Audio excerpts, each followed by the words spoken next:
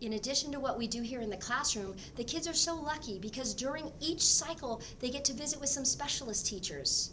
We have Miss Corman who teaches them art twice a six day cycle, Coach Harris who specializes in PE, Mr. Thompson who specializes in music and will be presenting a uh, fall and spring concert with your children, Miss Anderson, our librarian, and Mr. Papasette, our fabulous technology teacher.